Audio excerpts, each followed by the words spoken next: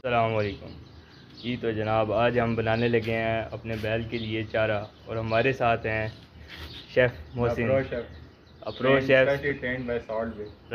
चले जी तो बताएँगे आप अब हमें कि इसमें क्या क्या डलता है।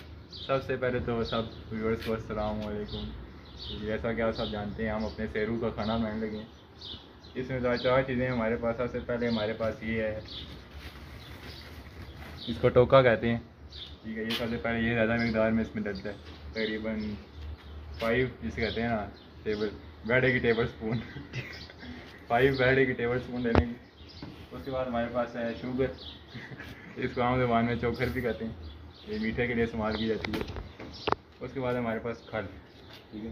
ठीक इसका तरीका ही होता है इसको कुछ घंटे पहले पानी है भिगो कर रखना पड़ता है। जिसका मैंने कल रात का पानी है भगो दिया था। अभी तक ये रेडी होगी है हमारे पास उसके बाद है भूसा। ठीक हो। गया। तो सबसे पहले इसमें हम डालेंगे चौथा जो हो गया हमारा वन टेबल स्पून वेडी की टेबल स्पून वेडी की tablespoon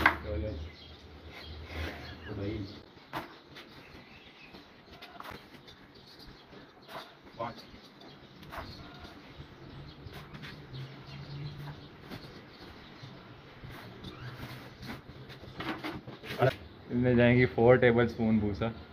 four tablespoon वेड़े वाले। वेड़े वाले टेबल स्पून ठीक है।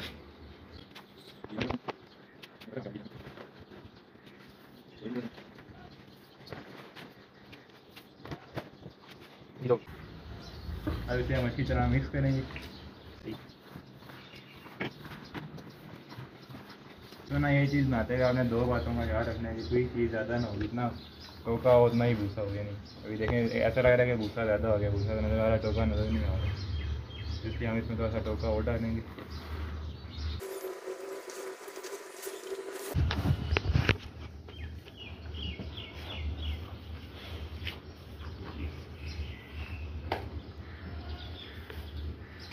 अब इसमें हम डालेंगे अपनी शुगर। शुगर कितनी डालेंगे? शुगर इसमें वन टेबल स्पून जाएगी शुरू में मिक्स करने के लिए। और मिक्स करने के बाद ऊपर भी डालेंगे सही। बाकी टेस्ट के हिसाब से बैठे के टेस्ट के हिसाब से। चलेंगे हम कमर्शियल मार्केट के साठ रुपये के एक्शन से। ठीक हो गया।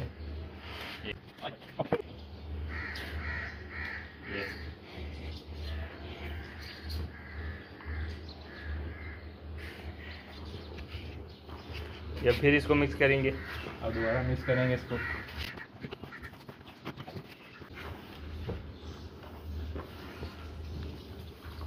आप देख सकते हैं अब इसमें हम डालेंगे खाद। और इसको कितनी देर पहले भिगोया जाता है? इसको हमने तकरीबन तीन चार घंटे पहले भिगोना पड़ता ताकि पानी इसमें जज्ब हो जाए और नरम हो जाए वरना सख्त होती है जब बाज़ार से जाओगे ठीक हो। ठीक हो इसको पहले निचोड़ लेंगे पहले इनको पानी भी चाहिए होता है पानी से ही निकाल लेंगे हम। सही। निचोड़ने के बाद ये खिला के डाल देंगे। ये नहीं ज़्यादा ज़्यादा नहीं डालते थोड़ी कम ही डालते हैं।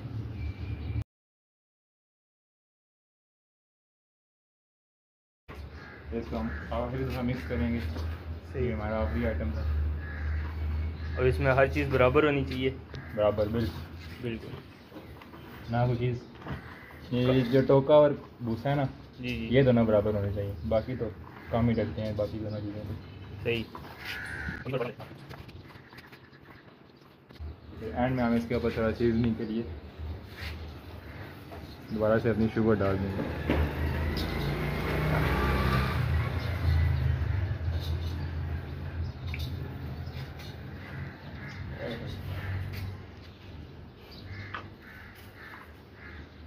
हमारा वेटर साथ खड़ा है ये ये अब शेफ साहब का काम खत्म हो गया। शेफ का काम खत्म हो गया।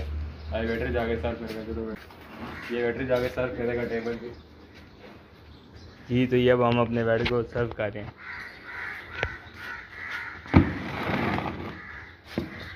ये मतलब हमारा वेड़ा खाना शुरू हो गया यानी कि हर चीज़ बराबर है परफेक्ट वेड़ा हमारा जो देख सकते हैं खाना शुरू हो गया।